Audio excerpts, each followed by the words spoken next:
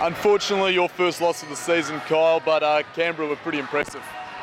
Yeah, I mean, they're, they're a good team. They shot the ball really well, extremely well. Um, I mean, defensively, we didn't play the way we, you know, coach wants us to. Um, you know, myself, you know, I put it on myself, everyone, we didn't play up to the standard of the defense that we have to. And, uh, and Canberra made some tough shots as well, but with bad defense and good shooters, know, it's tough. It's tough. So. Never easy winning on the road. Uh, there wasn't a lot of people here tonight, but they did make a fair bit of noise. So it must have been a pretty hostile atmosphere out on court.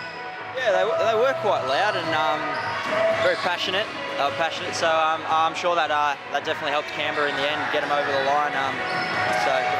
Uh, Joel Narbergs has taken the next step up this season. Another pretty good night for him. Two assists away from a triple double after two uh, big scoring games in the first two rounds. Yeah, Joel's a great player. I mean, um, he's a beast. He can he can do anything you need him to. Um, great scorer. So you know, we got to ride him. You know, if he's, you know, if he's not playing well, then we got we got other options as well. But I mean, it's it's not often he doesn't give us what we need. So. Another game tomorrow. You got the Basketball Australia Centre of Excellence. How do you prepare yourself from this point onwards?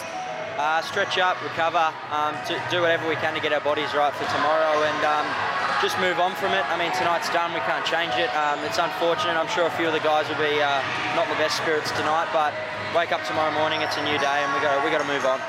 Thanks for your time, Kyle. Good luck tomorrow. Cheers.